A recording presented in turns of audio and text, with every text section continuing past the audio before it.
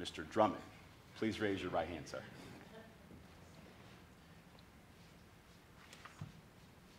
I, Dornat A. Drummond, I, Dornat A. Drummond, do solemnly swear do solemnly swear that I will support the Constitution of the United States, that I will support the Constitution of the United States, the Constitution of the State of Ohio, the Constitution of the State of Ohio, the codified ordinances, the codified ordinances, and the Charter of the City of Cleveland, and the Charter of the City of Cleveland, and that I will faithfully, and faithfully, honestly, honestly, and impartially and impartially discharge the duties discharge the duty of interim director, of interim director, Department of Public Safety Department of Public Safety to the City of Cleveland, to the City of Cleveland, State of Ohio, State of Ohio, during my continuance during my continuance in said in office. said office. Congratulations, Thank sir. you, sir.